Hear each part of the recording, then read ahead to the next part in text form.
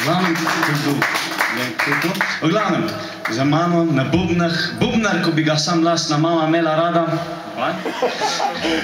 In, no in jaz pač sem, banasizi kličejo mesos, a imamo še en komat, ni trače ven, a ja ne, pešte ven za vaša uha, dobro. Kanu, da vas spokojno.